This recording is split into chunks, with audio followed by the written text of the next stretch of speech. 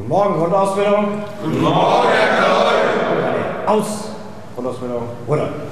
Eine Küche auf Sternenniveau erwartet niemand bei der Bundeswehr, aber trotzdem muss es sauber sein.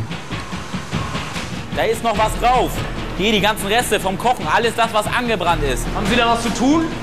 Sieht nicht so aus. Nehmen Sie sich diesen Spachtel und machen das alles weg. Jawohl? Jawohl. Herkommen. Mitmachen. Ausgebildet wird in einer schmucklosen Halle aus Blech und Beton. Hauptmann Wilfried Klatt führt das Kommando. Die mobile Kochstation ist sein Lieblingsspielzeug. Der Hauptmann ist gelernter Fleischermeister und seit einem Jahr Ausbilder in der Kochschule. Eine der ersten Lektionen, die er seinen Schülern erteilt, kulinarische Fantasie ist am Kasernentor abzugeben. Stopp, stopp, stopp, stopp, stopp, stopp, stopp, stopp, stopp. Das hier ist eine taktische Feldküche 250. Draußen im Volksmund würde man wahrscheinlich auch sagen Gulaschkanone. Wir haben hier eine Backmuffel. Wir können hier drin backen, überbacken und alles Mögliche machen. Wir haben hier zwei schöne große Bratmuffeln, wie wir dazu sagen. Wenn man hier weitergeht an der TFK, findet man hier einen Kochkessel. Davon haben wir auch zwei Stück. Also ein richtig überdimensionaler Schnellkochtopf, wenn man so will. Die Azubis lernen schnell. Kochen bedeutet bei der Bundeswehr vor allem Tüten aufreißen und deren Inhalt aufwärmen. Effizienz geht hier vor Geschmack. Wir werden es mal herstellen. Gruppenverpflegung wird jeweils für 20 Mann abgepackt. In dem 20-Mann-Paket ist alles drin, was ich für 20 Mann tatsächlich brauche. Und hier haben wir mal zur Auswahl, wir haben es einfach mal ausgelegt.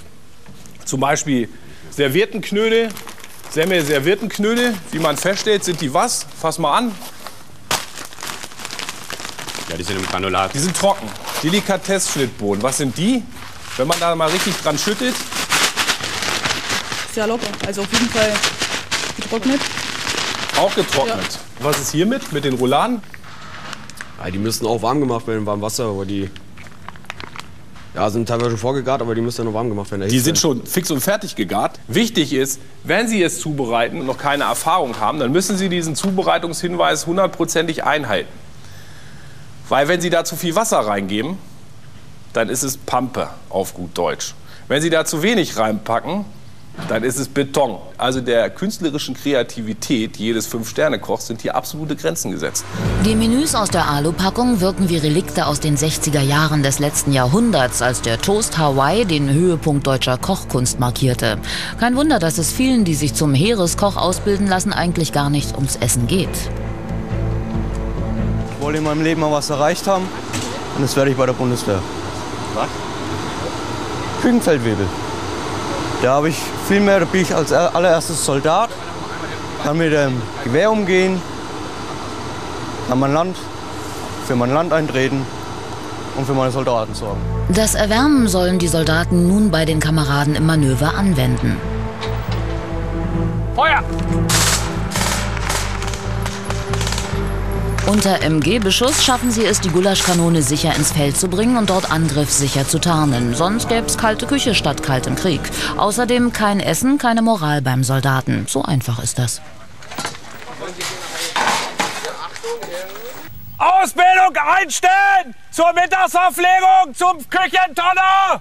Die Kochausbildung bei der Bundeswehr. Nichts für ehrgeizige Herdkünstler und andere sensible Feingeister. Gourmets sind hier völlig falsch.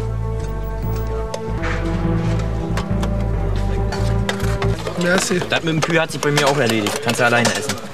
Schmeckt mir nicht. Das ist Matsche nur. Und die Verpflegung sonst hier? Naja. Schmeckt, naja. Ist nicht das Wahre, ne? Aber der Hunger treibt's rein. Und der Hunger treibt sogar auch noch den Nachtisch rein. Das leckere Bundeswehr-Dessert.